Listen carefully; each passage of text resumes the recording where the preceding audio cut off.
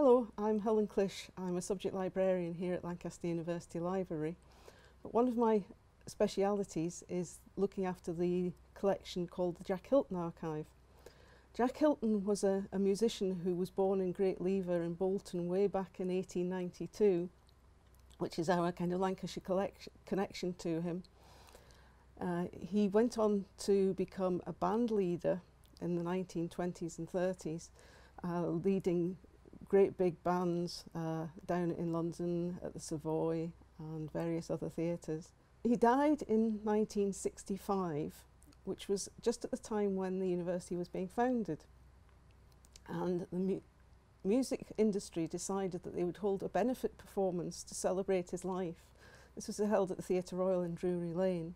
And the proceeds from this performance actually went forward to fund the building of the music rooms on campus at Lancaster.